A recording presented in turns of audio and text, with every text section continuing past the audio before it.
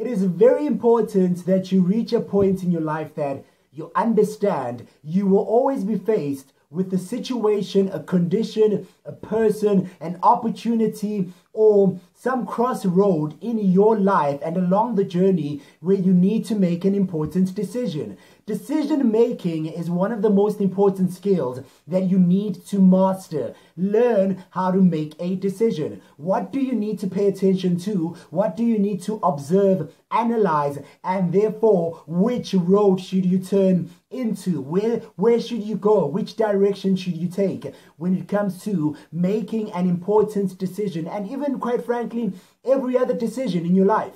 Look, it's very important that you understand the fundamentals of the universe. If you can see past the physical aspects and the physical attributes of your life experience and realize that everything is energy, everything is based on energy, everything is based on vibration, everything is based on emotion, and everything is based on the invisible realms that have to do with the law of attraction. So, with the law of attraction, you know, or at least by now, I think you should be acquainted with the idea that like energy attracts like energy. So a decision is usually something that follows from your thoughts, from your belief, from your mindset. So you've attracted a situation, an opportunity, or a specific set of results where you need to make a decision. Whether it's a relationship, or it's a new job, or it's a potential partner, or it's traveling to a specific location, you are always attracting to yourself a set of decisions, a set of opinions, a set of conditions and situations and people and circumstances and and options. That is what life is all about. You will always have options to make in relation to the life that you want to create for yourself. It's almost like when you're building a, a, house, or when you're building a company, or you're building a relationship, or you are traveling to a location day in, day out, you are attracting options. You are attracting shares because you are sharing your reality and sharing your experience with other people, and therefore, decision making is very important. So, learn to master the skill of making a decision. So, this is what you've got to pay attention to. How does it make you feel? If you turn that side, how will you feel a few moments from now, two weeks from now, three weeks from now, six months from now, two years from now, depending on, of course, um, what are you talking about? So, whether it's a relationship or marriage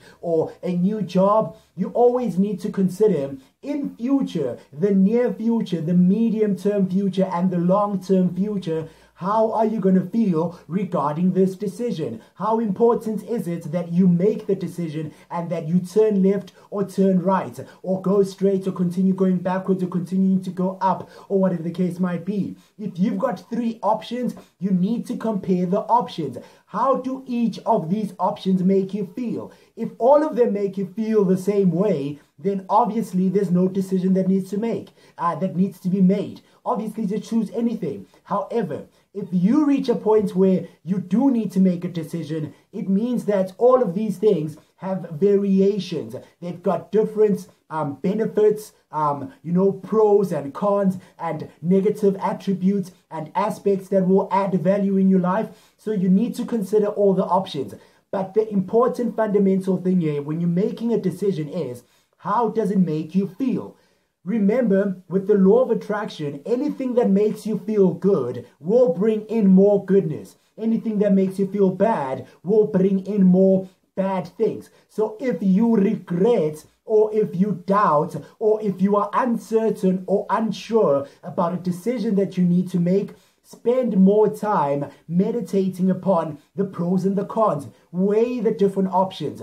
What is important to you? What is the deal maker? Is it important right now that you maybe emphasize, maybe, maybe right now you're not in a comfortable situation in your relationship or your job or whatever the case might be, but does it have the potential to change? Does it have the potential for it to become better? Because some people make decisions because they want to quit or because they want better opportunities because of maybe the present temporary situation is not comfortable. But remember, where you are right now always has the potential to become better, to improve. So, my advice is when you need to make a decision, always choose love. Always choose to reach out for the solution. Don't run away from the problem. Don't avoid the, the uncomfortable experience in the hopes of, of experiencing something in future because you're quitting. So in other words, always reach out for something. Don't avoid a problem. So your decision should always be made out of love instead out instead of out of fear. So make a decision because you've got faith Make a decision because you are hopeful. Make a decision because you are excited. Make a decision because of what it promises and what you anticipate instead of making a decision because of what you fear, because you may regret or you are, you know, concerned or worried about what happens after you make the decision. So if you are making a decision based on your fears, then it's not a good decision. So don't quit something because you fear rejection. Don't give up on a person or give up on an opportunity because you're afraid it may not work or the person may not improve or your job or the circumstances may not improve or change. You need to see the light at the end of the tunnel. So make the decision based on love. Make the decision based on trust. Make the decision based on a hopeful vision and a mission, and therefore the decision will be easy for you to make. It has to be a decision that is made from a positive perspective, not from a negative condition, not from you running away from something. Don't avoid something. Don't try to, you know, ignore something. Rather reach out for a solution. Find the love. Find the goodness. It has to make you feel good.